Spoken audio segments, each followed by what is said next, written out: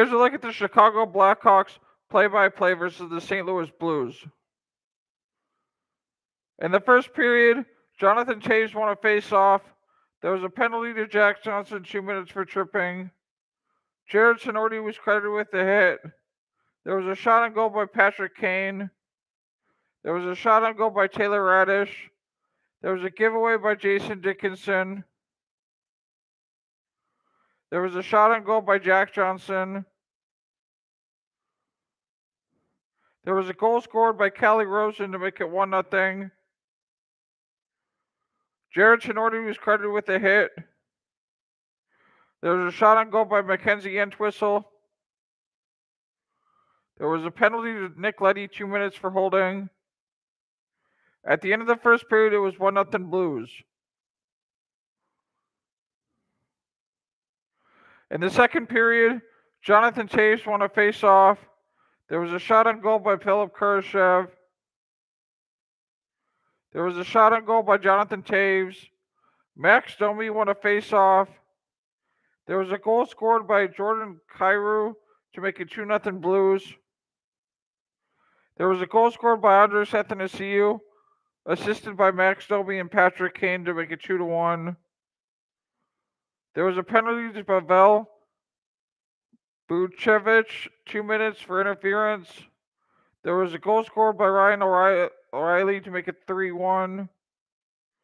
There was a goal scored by Andreas Athanasiou, assisted by Philipp Kurashev to make it 3 2 Blues. There was a shot on goal. There was a shot missed by Mackenzie Entwistle. There was a goal scored by Tyler Pitlick, assisted by Nikita Alexandrov to make it 4 2 Blues. There was a shot on goal by Connor Murphy. Connor Murphy's shot was blocked. Penalty to Alec Regula, two minutes for ho- for hooking. At the end of the second period, it was 4 2 Blues. In the third period, Jason Dickinson won a face-off. There was a shot on goal by Sam Lafferty. There was a shot missed by Philipp Kurashev. There was a shot on goal by Colin Blackwell. There was a shot on goal by Connor Murphy. There was a goal scored by Ivan Barbashev to make it 5 2 Blues. Max Domi won a face-off against Robert Thomas. Jonathan Toews won a face-off.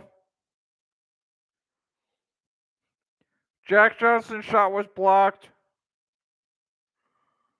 There was a penalty to Vladimir Tarasenko, two minutes for holding. There was a shot on goal by Mackenzie Entwistle. At the end of the third period, it was 5 2 Blues. And those have been some of your sports updates from Tyler Moore's podcast. Thanks for watching.